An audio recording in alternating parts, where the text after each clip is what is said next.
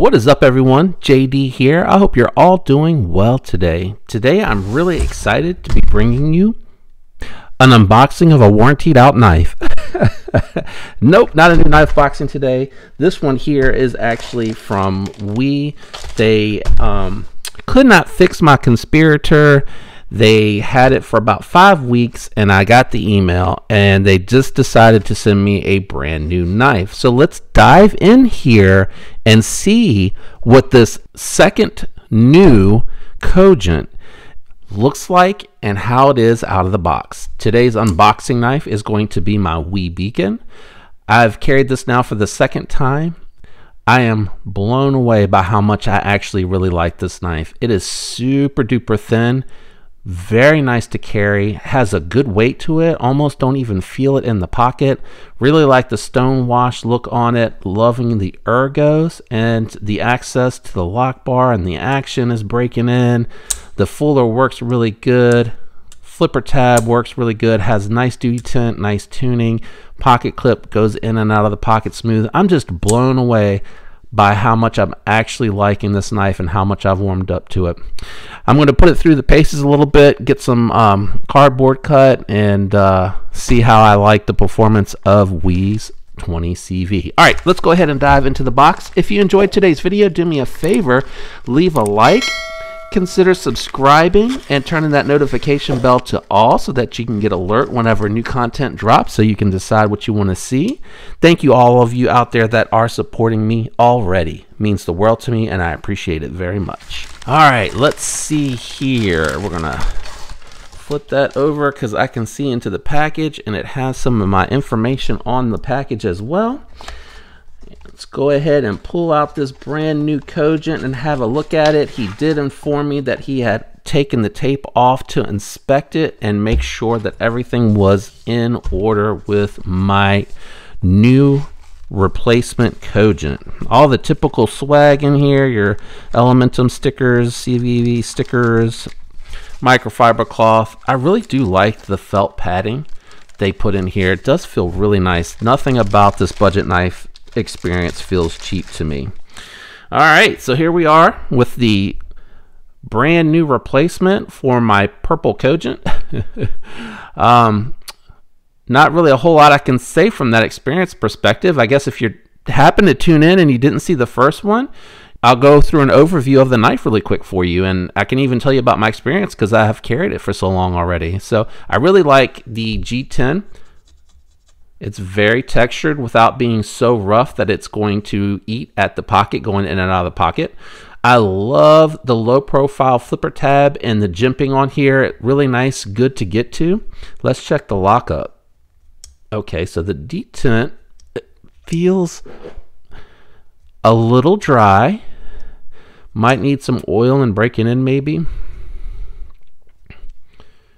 Came Where's the blade tip? Came centered. Yep, nice and centered. So I'm sure with him inspecting it, everything's going to be in order. Pocket clip is uh, tight, but it has such a uh, duck bill on it or gooseneck on it that it sits up plenty high, which was one of my complaints. And I do have my old Elementum pocket clip ready to go for that. Let's go ahead and give it a flip. All right. Looks like it's got plenty of packing grease on it still. I do like the clip point shape of this blade. The hammerhead doesn't really offend me too much. I mean, it would have probably been cool just to have it on the bottom and not the top and have it smooth through there. I think it would have looked a little bit better, but I like this clip point blade and these uh, 14C, where is it on the bottom tab? That 14C28N, really good. Stone wash is looking really good on this. Let's check out that button lock. Yeah, it's a little... Might, I don't know if it's dry or if it's the coated blade because my other one had broken in. I'm going to give it a few flips while we talk. The ergonomics on here, I felt like they were really good. I appreciated the fact that it had a thicker handle in hand, so it kind of filled out the hand because it is a bit more slender. I also really like the index finger cut out here and the hand feeling like it's really locked in for this particular carry and this and the handle on this knife feeling really good. All right, let's check it out. Let's see if there was any lock rock. No lock rock.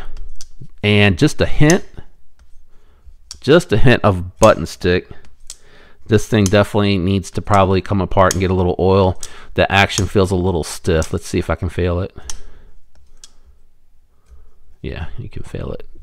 If you really concentrate and really try, you can fail it.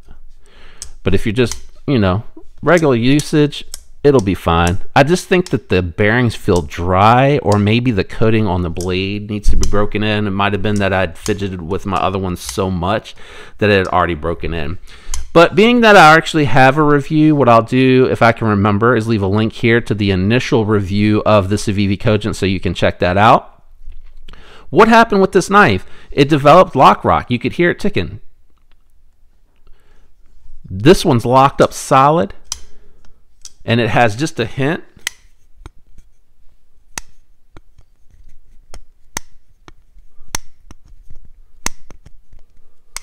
So what I'm doing behind there so you can hear it.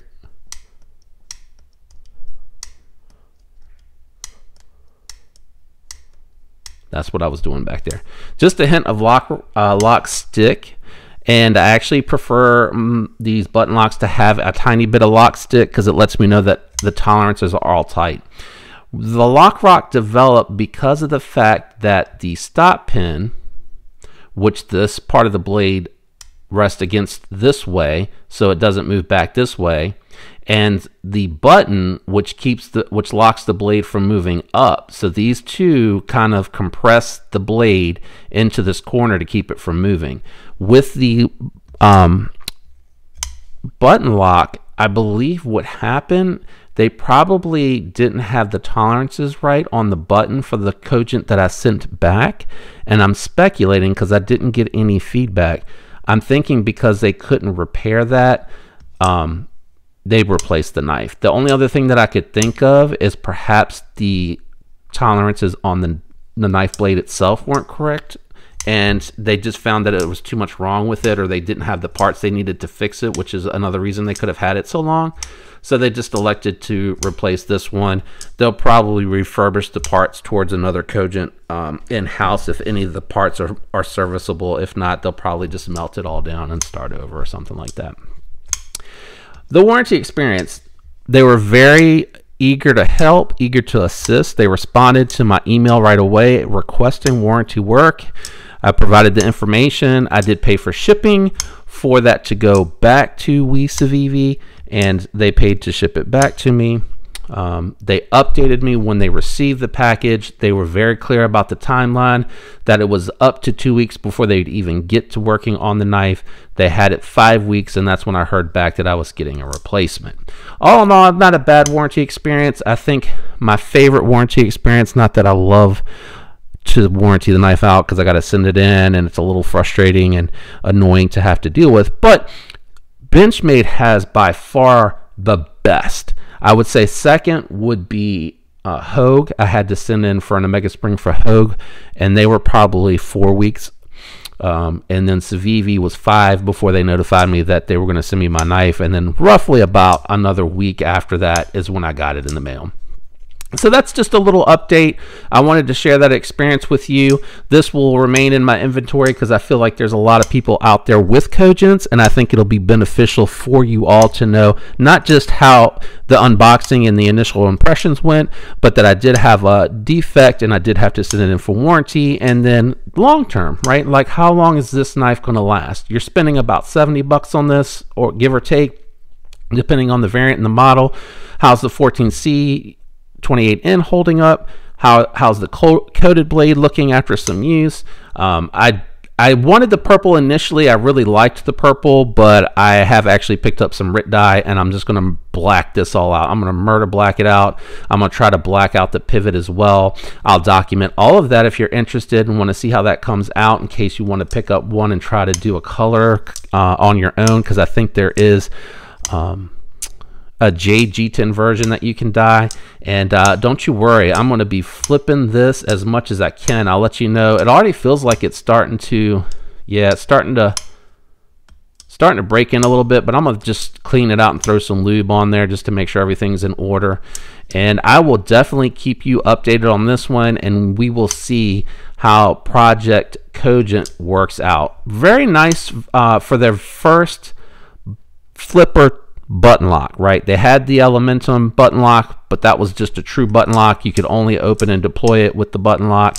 And this one here has a is their first version that has the second means of deployment. And I think also if you get your finger right up underneath where that grind stops, you can you can you can reverse flick this one out, which is kind of fun. I missed. Oh, wait, what's going on here? Actually, I was too high. Where am I putting my finger? Oh, it's underneath this um, swedge. Okay. Yeah. The further down you go, the more leverage you have to torque it out. So, kind of cool. I'll update you guys. Let me know if you have any questions about this warranty claim, about the Cogent, or anything like that. Hopefully, this is helpful to you. If you did enjoy the video again, please leave a like. It does help me.